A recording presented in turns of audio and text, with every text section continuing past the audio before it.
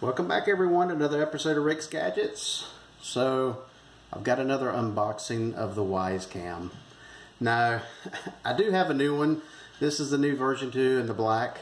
Um, just kind of wanted to, I'm not doing an unboxing video because there's tons of those out on the internet.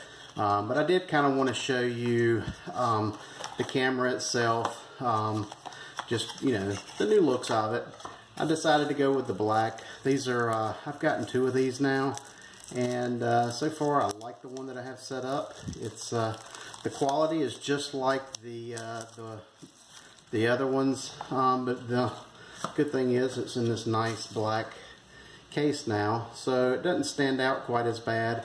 Still has the same magnets, um, connection on the bottom, reset, micro SD card. Everything is pretty much the same on this. You even get the power adapter. Um, comes in black. Same length cord. So you even get the, the metal plate. Like I said, everything is the same except in black. But, um, I wanted to use one of these outside and where I'm wanting to put it, I don't have a receptacle.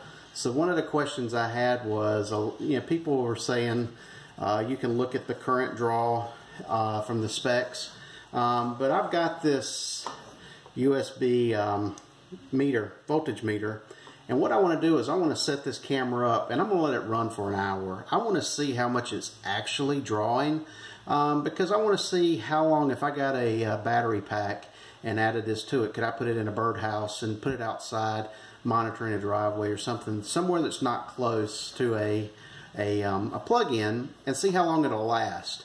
So that's why I said this isn't a typical unboxing video. I'm not going to show you how to set it up or anything because those directions are out there. But what I'm going to do is I'm going to get it set up. I'm going to plug this in and I'm going to let it run for an hour. Then I'm going to come back and we're going to see actually how many milliamps are on there. Alright, so I have the camera plugged in and it looks like it's steadying at 0.16 to 0.2 amps. So we're going to let it run for an hour. You can see it's reset. It's pulled uh, one tenth of a milliamp there. So uh, let's let it run for one hour. I'm going to walk by the camera just to make sure there's movement in front of it so it kind of simulate the uh, you know outdoors somebody driving by walking by. So I'm going to come in and move the camera around just to make sure it's picking up movement. And let's just see what it does. And uh, one hour we'll come back and give you the results. So here's the results after the one hour of testing. As you can see, I mean it's flashing now, but I'll put it up here on the screen, a picture that I took right at the one hour mark. You can see it consumed almost 300 milliamp hours in that uh, one hour. So what can we conclude from this? Um, you know, if you think about uh, some of the portable battery backups, I've seen some out there, you know, with about 20,000 uh, milliamp hours.